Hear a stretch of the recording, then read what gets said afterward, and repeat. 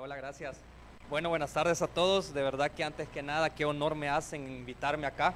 De verdad que es bonito regresar a casa y ver a todos, pues, colegas, exmaestros, eh, amigos y a todos ustedes, alumnos que están haciendo todo esto posible. Em, este día traigo un tema bien interesante que quiero y creo que va a ser muy importante para todos. Y es el tema de marketing digital estratégico. Hay dos cosas que quiero evidenciar en esta ponencia y que en mi experiencia creo que ha sido el problema que más yo sentí el día que yo pisé por primera vez una agencia de publicidad o un primer trabajo. Y este fue que creo que hay dos deficiencias que generalmente uno puede tener. Uno es creer que los medios se dividen en uno o dos a nivel digital y segundo es que la creatividad digital es la misma creatividad a nivel tradicional y son dos cosas totalmente diferentes.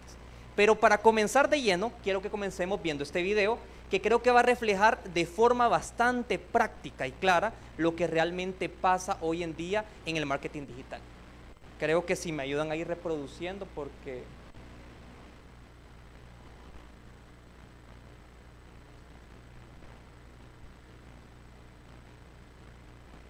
Yoshi, it's Walter. We're back. Ahí le acaban de llevar una estadística diciéndole que las ventas están, se están disparando los pedidos ahorita en redes sociales y en el e-commerce. En ese momento dicen, vamos a todo vapor, vamos a fabricar una gran cantidad de enciclopedias. Están destruyendo los árboles para comenzar a generar.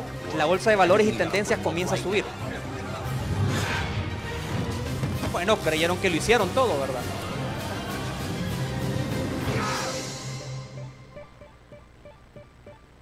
He really loves that thing.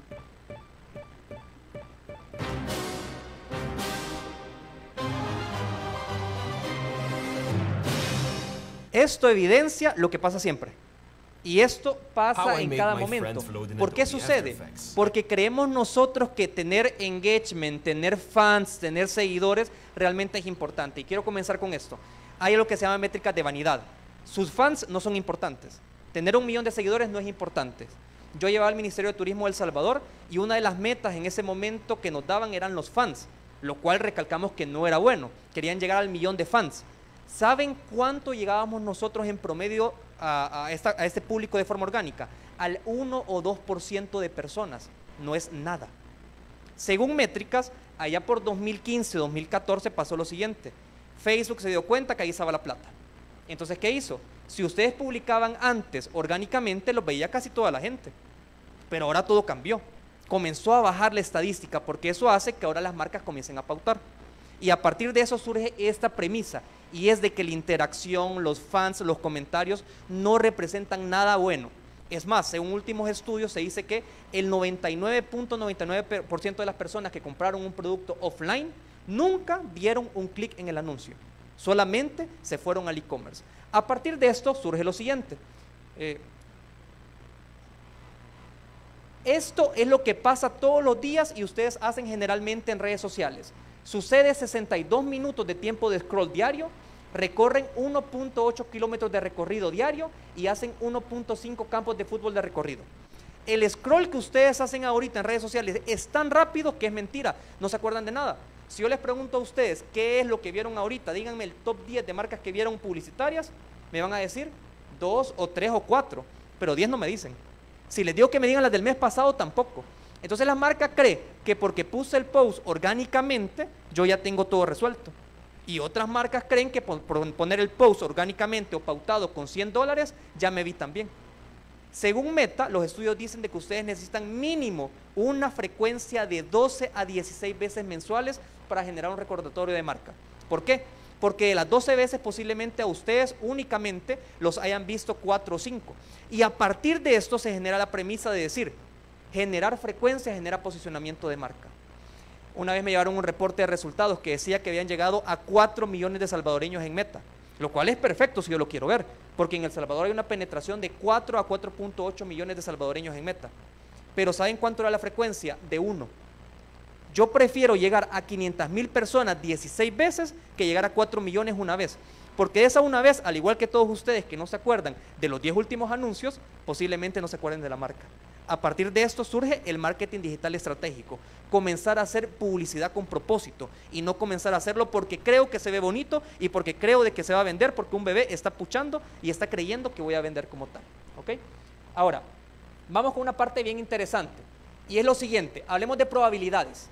Quiero que me levante la mano quien tiene instalado ahorita Amazon Prime Video en su celular o en su computadora o donde sea. Yo lo tengo. Aquí tenemos a una persona, dos, tres. ¿Quién cree que podría comprar Amazon Prime Video en el próximo año posiblemente si le sigue saliendo publicidad o algo? Allá tenemos una persona, ok. ¿Quién nunca lo compraría? Acá tenemos, ok.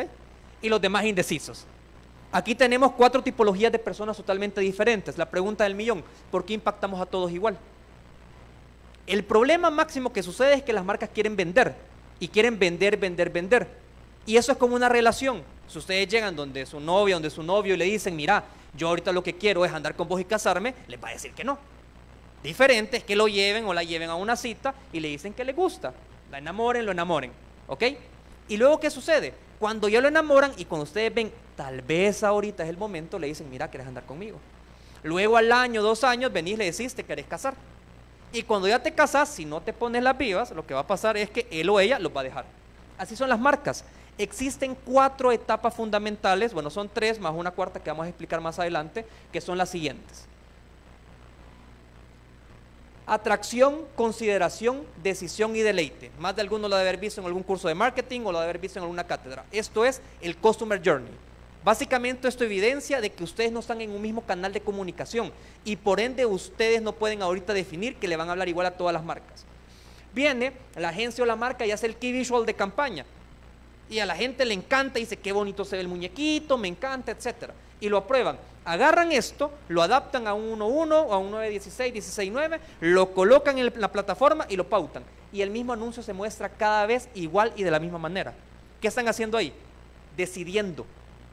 Creyendo que así como todos ustedes pueden ver que casi nadie estaba en decisión, están atacando a todos en decisión, diciéndole que soy el mejor. Rey que dice ser rey no es rey. Y ese es el problema.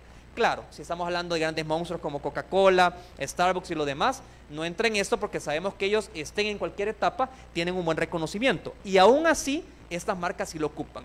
Quiero que veamos lo que hace aquí Amazon. Amazon en la parte de atracción, primero penetra el 85% a través de públicos amplios. Ellos comienzan a pautar de verdad que eh, eh, de forma geográfica y de forma geolocalizada, genéricamente hablando. Ahí penetra un 85%. ¿Por qué? Porque en los medios digitales ustedes no pueden penetrar a más del 85%, porque son inventarios. Si ustedes acabaran todo el inventario, ya nadie puede pautar. Así que los inventarios se pueden penetrar en un 80, 85% dependiendo cada, cada medio publicitario. En este caso, ¿qué hace Amazon? Pone a un personaje de The Voice con unas botas de Asteroid, que fue un meme que en su momento fue tendencia. Ahí no te estoy vendiendo en ningún momento nada. Yo no te estoy diciendo comprame, te estoy poniendo algo para atraerte. Esto es donde te estoy enamorando, donde te estoy diciendo, mira, soy gracioso, soy divertido, haceme caso. Y la gente se le queda viendo. Ojo, el Customer Journey no es lineal. Esto no sucede así de fácil. En atracción existen alrededor de 10, 15 o 20 artes que están aquí jugando. Y la creatividad para hacer esto, solo esto es un mundo. ¿Ok? Así como esto hay memes de todo tipo que hacen que la gente se atrae. Luego que yo ya te atraje y ya hice que, que me vieras, vengo con lo siguiente, con una campaña de consideración. Acá yo muestro únicamente películas. Te digo, hey, se viene el estreno de The Artist, o hey, se viene El Señor de los Anillos. Y ya digo yo, ok, tal vez ahorita sí me interese yo poder ser parte de la plataforma. Aquí ya no impacto al 100%, impacto al 60%. Aquí hago los famosos públicos personalizados. Le digo al sistema, solamente quiero impactar a las personas que vieron más del 50% de mi video primario, que interactuaron con mi anuncio o que visitaron mi sitio web como tal. Y de esa manera ya no impacto al mismo 85%, impacto al 60%. ¿Ok? Ahora vamos con la tercera que es decisión. Acá te digo, hey, tengo una promo super chiva, porfa, venite conmigo. Tengo una promo del 50% de descuento. Acá ya voy fuerte a decirte, comprame. Acá es la parte de decisión. Y aquí solamente impacto al 30% del público objetivo. Puedo impactar con el pixel a personas que visitaron mi sitio web, puedo impactar a personas que reaccionaron a este video o a personas que vieron más del 50% de este video. Ya te enamoré y ya sos parte de mi lista. Aquí es importante algo, un CRM. Es importante un gestor de data donde ustedes puedan ver fácilmente quiénes son sus clientes y listas de clientes. Y decir, si tengo yo 500 mil clientes ahorita, los agarro, los meto en una lista y lo que hago yo es que impacto únicamente a mis clientes con la lista. Pero si yo tengo, no tengo un CRM, tengo desordenadísimo mi lista, no voy a poder hacer todo esto. Y ya le pongo yo la cartelera de febrero, de marzo, de abril, de mayo, de junio. Y a través de esto se hace un Customer Journey. Haciendo esto, podemos no tener éxito. Podemos comenzar a ver cuál es la ruta para el éxito.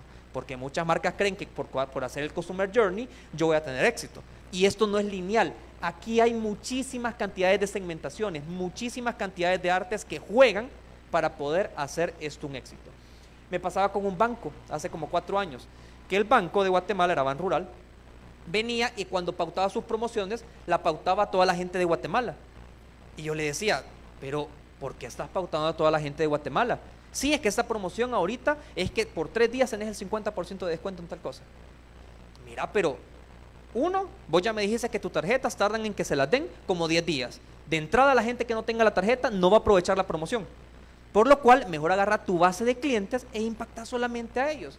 Ese trabajo es arduo y así como se ve en el video, no es así de fácil. Que porque creo que me están cliqueando, tengo que hacer algo. No, depende de todo este tipo de situaciones. Vamos con otro ejercicio rápido. ¿Qué tan probable es que ustedes compren Open English? Aquí van a haber diversidad de opiniones, algunos no, algunos sí, algunos tal vez, algunos ya lo compraron. A partir de esto tenemos otro Customer Journey, que es el siguiente, en atracción. Y esto literal me metí a la biblioteca de anuncios de Open English y tenían todos estos. Y el primero, teníamos un meme en atracción. Luego en consideración te decíamos, si tú ya habías visto el meme y habías visto más del 50% del video del meme, te impactábamos nosotros con un descubre tu nivel de inglés gratis. La gente se metía y veía un test, ¿ok? Y toda la gente que se metió a hacer el test, que ya no va a ser el 85%, sino que 30% de todo el, el grueso de la comunidad, yo le voy a mandar una promo del 40% de descuento. Y si tú ya me compras con ese 40% de descuento, yo vengo y te hago tips de pronunciación y comienzo a deleitarte. Entonces, a partir de esto comenzamos a hacer nosotros este tipo de cosas que realmente ayudan en la pronunciación, que ayudan a que la gente realmente conozca un poco más de Open English. ¿ok? Ahora, vamos con un reto más grande.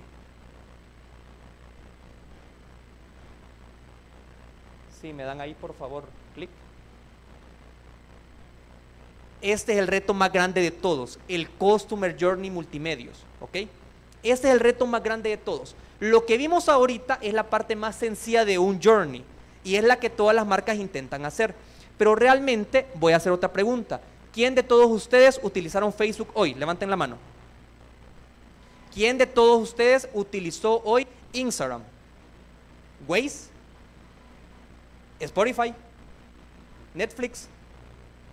Ok, hay multimedios. Si ustedes ven ahorita y me presentan mix de medios de muchas marcas, la mayoría del mix de medios es el 70% meta. ¿Ok? Pero la pregunta del millón es, ¿por qué yo estoy invirtiendo el 70% de mi presupuesto en meta cuando realmente todos ustedes acaban de decirme que están en muchos medios? Creemos que porque yo ocupo meta, ahí está todo mi público pero realmente existe una gran cantidad de formas de poder impactar. Y aquí vamos a la siguiente slide. Les presento a Daniela Pérez. Daniela Pérez tiene todo este journey, desde las 6 de la mañana hasta las 5 de la tarde. Quiero que vean muy bien qué hacen y que se reflejen posiblemente en cosas que ustedes también hacen. A las 6 de la mañana se levanta y ve historias de Instagram y ve un video en TikTok. A las 7 de la mañana, cuando va de camino al trabajo, escucha un podcast y busca el mejor ruta por Waze. A las 12 del mediodía ve TikTok y googlea sobre créditos hipotecarios porque la chava quiere buscar de repente un crédito hipotecario para comprar su apartamento. Y a las 5 de la tarde escucha un podcast y también busca la mejor ruta por Waze como tal. Como pueden observar, este fácilmente puede ser lo que ustedes estén haciendo ahorita en su día a día. Y a partir de esto viene la pregunta, ¿por qué seguimos pautando únicamente en meta cuando hacemos marketing digital estratégico? En vez de hacer un medio de acuerdo a la cantidad de estudio que tenga de mi buyer persona. A partir de esto les presento a continuación un Customer Journey multimedios. Primero vimos un Customer Journey unicanal con, con Facebook y ahora vemos un Customer Journey multimedios. Hacer esto requiere dos cosas principales. Plata, porque con mil dólares no hacemos esto, ¿verdad? Entonces estamos hablando aquí de, no sé, unos 50 mil dólares aproximadamente. ¿Por qué? Sí podemos hacerlo, pero lo que va a pasar es que si le meto mil dólares a Facebook a un CPM de 50 centavos, no, tiene sentido. Ahora, veamos un primer ejercicio porque si no me voy a tardar mucho, pero vamos con el de arriba. En atracción, yo genero SEO o SEM. Entonces en SEM vengo y yo hago concordancias de palabras claves, eh, amplias, exactas, la que sea. Y yo pongo que cuando la gente busque tarjeta de crédito, en lugar de decirme comprámela, comprámela, comprámela, yo lo que voy a hacer es lo siguiente. Le voy a mostrar un blog que dice hacks para derrotar a las tarjetas de crédito. Entonces, la persona que nunca ha tenido tarjeta de crédito, que tiene ese miedo, ese temor de hacerlo, le va a dar clic y cuando se meta, automáticamente va a haber un blog bien interesante que va a hablar de eso. ¿Ok? Va a meterse y va a leer, qué chivo. Un SEO muy bueno en marcas lo tiene Grupo Roble. Cuando ustedes, y ese ejemplo siempre se lo doy a mis clientes, cuando ustedes googlean y ponen crédito hipotecario, tasas de interés, lo primero que les sale a ustedes es Grupo Roble como en segunda o tercera posición. Y te dice todos los porcentajes de créditos que hay en el país de todos los bancos. Ni los bancos, yo llevo un banco aquí en el país, ni el banco que yo llevo está más arriba que ese. Porque ha hecho tan buen SEO de que cuando la gente busca, Roble te atrae en atracción para que lo veas. No te está vendiendo casas, pero indirectamente mientras estás viendo los porcentajes te dice, hey, si vivís cerca de esta zona, tengo esta casa para ti. Y ya te instalaron el famoso pixel de seguimiento, donde ya te rastreó y por eso te puede reimpactar después. Entonces, se metió esta persona y vio hacks para derrotar a la tarjeta de crédito. A partir de esto, este pixel de seguimiento lo va a seguir y lo voy a atacar en una siguiente versión de consideración y lo voy a atacar con un Google, con un Google Banner. Va a estar navegando y no necesariamente va a estar viendo cosas de tarjeta de crédito. Va a estar queriendo ver cómo hacer una pizza, va a estar viendo de repente tips para poder mudarte o tips de repente para, para vacaciones. Y de repente le va a aparecer un bannercito donde tampoco le voy a decir que me compre. Le voy a decir, hey brother, está cara la gasolina, tengo 50% de descuento en gasolineras en el país con un call to action de más información. Cuando la gente le dé clic, ahí sí lo voy a redireccionar no a un blog, sino a una plataforma donde le voy a poner, hey, acá está mi oferta. Esas son las tarjetas 1 que tengo de Banco Cuscatlán con tanto por ciento de descuento. ¿Ok?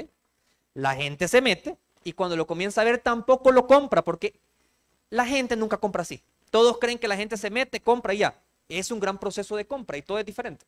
Ahora, vengo y después lo vuelvo a impactar, pero ahora en Facebook, con un anuncio que dice solicita tu tarjeta de crédito y con un call to action que te redirecciona a WhatsApp. En WhatsApp, el asesor de ventas viene, lo asesora y le genera la compra como tal. ¿Ok? Al realizar esta compra, ya entra en el CRM que va a ser ya el motor donde vamos a estar viendo toda la base de datos. Y con esto vengo y por mailings hacemos, ojo, por eso es importante el CRM. Me da risa de repente con, me pasa con Fede Crédito a veces, que te manda un mailing, ya no soy cliente desde hace como cuatro años y me está mandando constantemente promociones de cosas que yo no tengo tarjeta, porque no limpian la base de datos.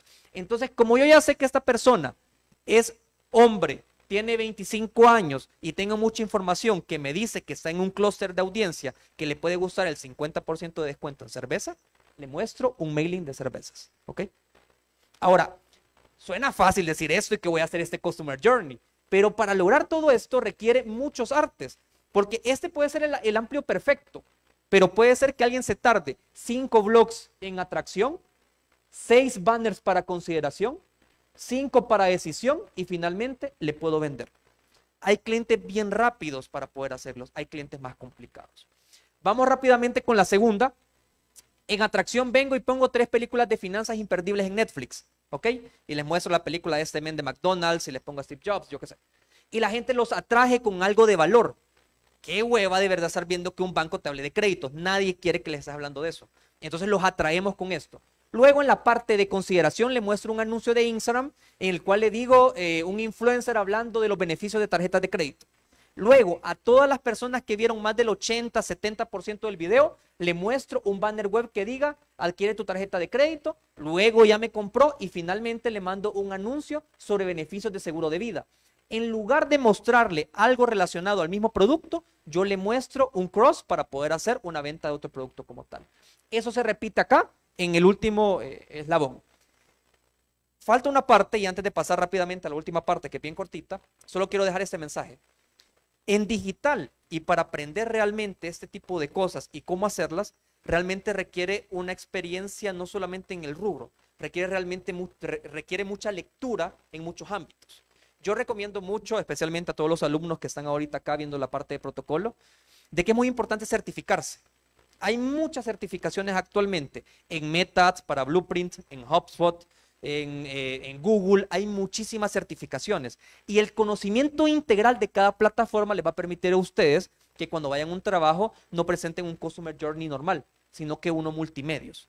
Ese Customer Journey que vimos anteriormente, yo recuerdo que lo veía hace como seis años en la agencia. Esto ha evolucionado tanto que todos estos medios ya están en el país y son de compra bastante rápida. Meta ya tiene hoy ahorita facturación en el país. Ustedes pueden deducirse el IVA fácilmente con Meta. Hace tres años no pasaba esto. Hace seis años tenías que pagar el 20% por eh, impuesto no domiciliario. Hoy no. Hoy ustedes pueden facturar directamente acá. Ciertas empresas y ciertas agencias. El punto es saber de qué está todo esto y que tenemos que aprender. Ahora, para finalizar, vamos a saltar eso rápido. Quiero mostrar las 3 P de la creatividad mobile. Desgraciadamente, creemos nosotros de que basta con lo que les enseñé anteriormente. Pero eso no es suficiente. La creatividad va más allá de un key visual y de una campaña super ganadora. Hoy por hoy los eslóganes y los mensajes de campaña han perdido. O sea, realmente querer posicionar un mensaje de campaña ya terminó el mes y no lo posicioné. Es necesario impactar con creatividad. Por eso les presento las 3P, Pitch, Play y Plunge. Pitch es el más fácil, es el contenido que ustedes pueden hacer todos los días. Requiere poco esfuerzo y requiere una alta frecuencia. Es el contenido que los chicos han estado haciendo ahorita, ¿ok? Han estado haciendo contenido diariamente y eso es pitch. Play requiere un contenido mucho más interactivo que genere valor. Ese no es tan fácil. Ese requiere un esfuerzo más grande y una frecuencia más corta. Por ejemplo, está el filtro que los chicos hicieron. Esa es una táctica play. ¿Por qué? Porque no estoy haciendo un pitch tan fácil, sino que te estoy dando un play que es más juguetón, más divertido y genera mucho más esfuerzo. Y plunge, esto es más complejo. Esto requiere que las personas realmente generen un alto esfuerzo y con una frecuencia corta como tal. Y de esta manera podemos nosotros delimitar cómo quiero que sea mi estrategia. Si estoy haciendo yo algo de atracción, yo recomendaría que se vayan con algo play o pitch para que ustedes puedan hacer algo realmente que valga la pena. Si estoy en decisión para una descarga de aplicación, recomendaría una táctica plunge que nos permita sumergirnos más en todo lo que estamos haciendo. Y para finalizar, les tengo ya ejemplitos para poder verlo, pero no sé si, si se van a lograr.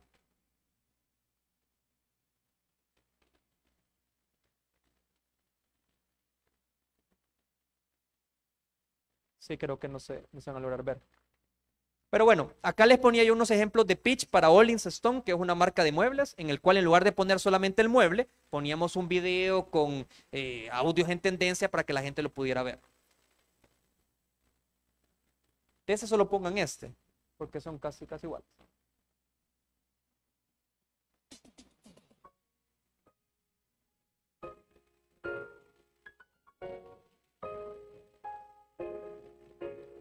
Eso le tomó a mi equipo ir a Ollins, eh, hacer una grabación de media hora, lo editaron en CapCut rápidamente, lo publicaron y fue uno de los mejores videos que tuvieron en el mes.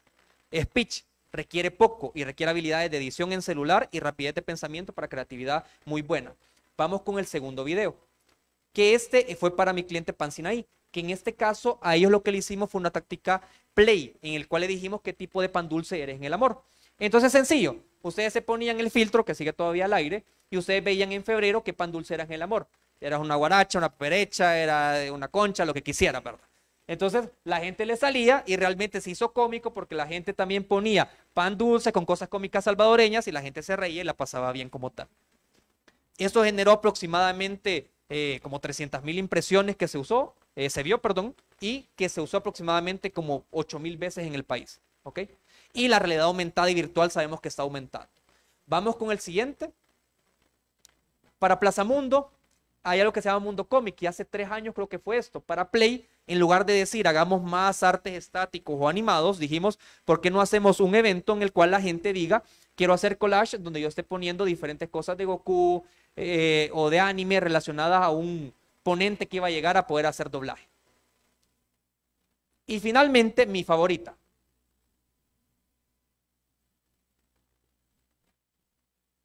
Si me ayudan, please.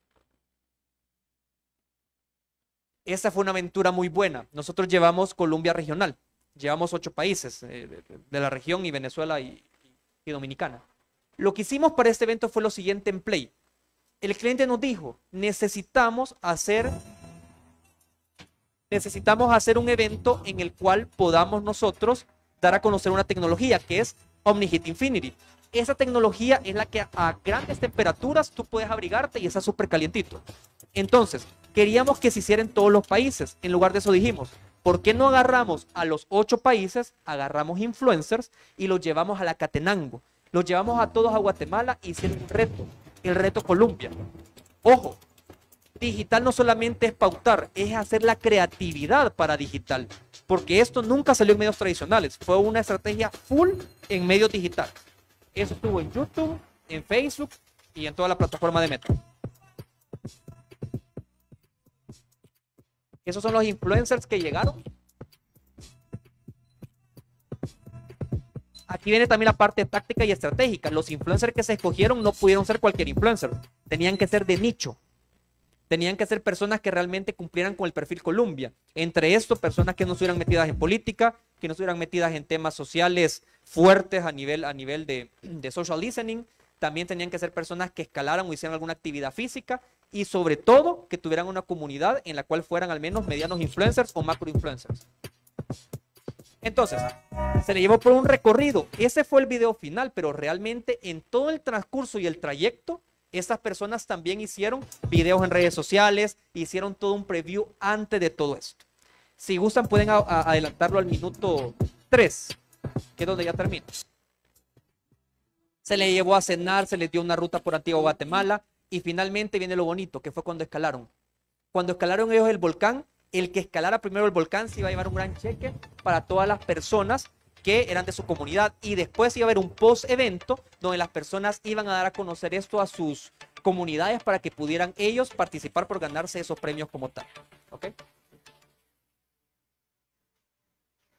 Y finalmente, vamos con las estrategias Plunge. Con las estrategias Plunge, yo les traigo acá en la presentación una aplicación que hicimos para Mercedes-Benz y también un sitio web. Lo que pasó acá y el reto era el siguiente. El cliente nos dijo, es pandemia, mis clientes necesitan hacer reservas para poder ir al taller. Mis clientes necesitan sí o sí también ver los carros sin necesidad de ir. Entonces lo que hicimos nosotros fue que creamos una aplicación en la cual ellos podían fácilmente hacer reservas y también hicimos nosotros una plataforma digital en la cual los clientes podían ver los carros en 3D, podían cambiar los colores y hacer toda una experiencia de marca con todo esto. ¿Ok? Bueno, acá termino solamente quizás con unas pequeñas palabras. Agradezco mucho eh, la confianza para el encuentro, ¿verdad? Que es bien bonito regresar a casa y ver esto. eh, creo que, que ha cambiado muchísimo y, veo mucho más profesional esto y eso es que estamos creciendo sobre todo. Y creo que un mensaje bien importante es de que cuando vamos al mundo ra- laboral es impor- importante ver qué es lo que ustedes tienen de diferente. Todos tienen muchas luces muy importantes en sus vidas, pero es muy importante que ustedes sean buenos a detectar cuál es su don. Porque como aprendemos de todo, sé que somos buenos en todos un poco, pero sé que todos son mucho más buenos en algo. Potencienlo, porque a partir de esto y esta potencialidad de todo esto, ustedes van a generarlo. Yo descubrí de que era el marketing digital y me apasiona y me gusta y es lo que hago. Ahora descubran ustedes cuál es su potencial. Gracias. Muchas gracias, Gerardo. Te vamos a pedir que te quedes un ratito más acá en el escenario. La verdad es que tu plática me recordaba a mi tercer año de la carrera, en donde con el licenciado Leopoldo Chicas estuvimos, porque la verdad es que todo esto del marketing lleva una gran investigación. O sea, uno piensa que solo es, voy a subir una red, voy a subir una historia, voy a buscar un público objetivo, pero no, la verdad es que todo lleva una gran, una gran investigación y qué bueno, qué bueno que lo has recordado a todos nosotros, también a las personas que lo están por ver. Supongo que hay chicos de la carrera de segundo o tercer año. La verdad es que es bastante interesante y comentar también que en esos momentos vamos a una sección de preguntas porque para que tú nos puedas responder, así es. Entonces, allá mi compañera Valerie va a hacer el favor de eh, pasar el micrófono a las personas que tengan preguntas. Está el micrófono abierto, no tengan pena, él está en toda la disposición de poder responder sin ningún problema. ¿Preguntas? Ahí. Muy buenas tardes. Buenas tardes, Gerardo, qué gusto verte y ver pues todo lo que has hecho. De verdad que nos enorgullece. Y mi pregunta va más encaminada a cuál ha sido el mayor reto que has afrontado dentro del marketing digital. Una gran pregunta, Claudia, y creo que aquí tengo varias, pero me quedo con una.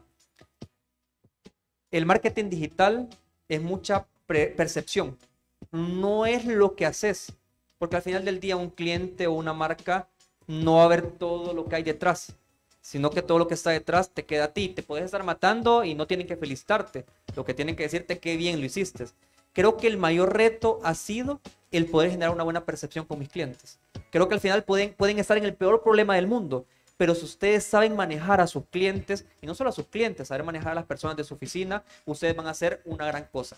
Han pasado situaciones en las cuales de repente eh, el video que tenía que estar subido no se subió y pasó un gran deschongue y la gente no entendió qué pasó. Y hay que saber cómo manejar. Hablando se entiende la gente, pero hay que saber. Si uno no conoce bien lo que hace, no puede defender nada. Yo creo que eso es bien importante. Gracias.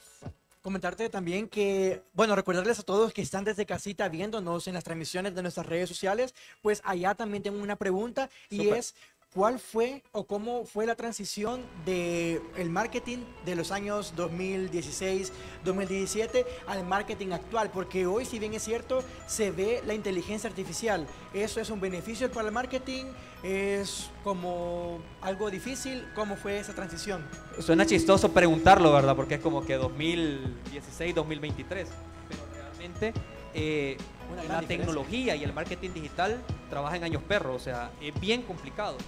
Y yo creo que la inteligencia artificial, realidad aumentada y todo esto siempre estuvo. Porque al final Facebook Ads, hasta cierto punto, es una tecnología de Machine Learning que es bien compleja. Lo que ha pasado es que ahorita hay un boom bien interesante. Yo creo que hay un error de cómo se está viendo y quisiera dar mi opinión con esto.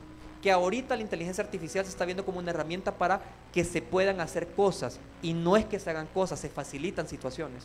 Es imposible que haga una campaña digital o que le ponga ChatGPT y veo videos de mercadólogos que ponen, lo único que tienes que hacer es ser más exacto, poner, hacer una campaña de marketing digital con tal objetivo, es mentira. O sea, más en El Salvador. Tal vez en un país más desarrollado podría ser más hábil utilizarla pero realmente la realidad aumentada del marketing eh, digital a nivel de inteligencia artificial hoy por hoy está en pañales. Y creo que es una herramienta que podemos utilizar, pero en definitiva no es una herramienta que aún pueda sustituir lo que estamos haciendo. En un momento lo va a hacer, sí. Y les quiero decir algo rapidito. Hoy en Meta, cada vez, y se acordarán de mí en esto, va a llegar un momento que ni van a tener que segmentar.